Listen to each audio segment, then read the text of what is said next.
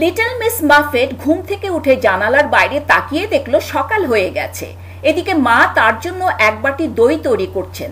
Miss মাফেটকে দই নিয়ে বাইরে খেতে বললেন।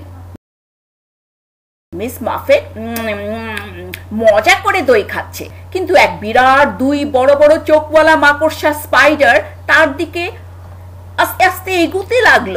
মিস মাফেট একটু টের পায়নি। হঠাৎ তাকিয়ে দেখে যে তার পাশে ওই বড় মাকড়সা এসে তার দিকে মিট মিট করে তাকাচ্ছে। মিস মাফেট প্রচণ্ড ভয় পেল। সে ভয়ে দইয়ের বাটি ফেলে দিল দৌড়।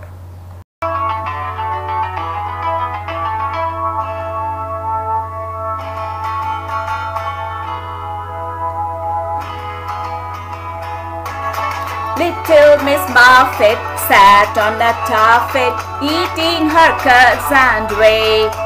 There came a spider and sat down beside her and frightened Miss Muffet away. দৌড়াতে দৌড়াতে সে বাড়িতে ঢুকলো। বাড়িতে ঢুকে মাকে বলল, আমাকে মাকড়সা খেতে আসছিল, তাই আমি ভয়ে পালিয়ে এসেছি। মা বললেন, চলো বাইরে গিয়ে দেখে আসি। এরপর মা দেখলেন মাকড়সাটা মনের আনন্দে দই চেটে পুটে খাচ্ছে। মিস মাফেটকে মা বললেন, ভয় পাবার কিছু নেই। মাকড়সা তোমাকে কামড় দেবে না। মাকড়সার খিদে পেয়েছে, তাই দই খেতে এসেছে।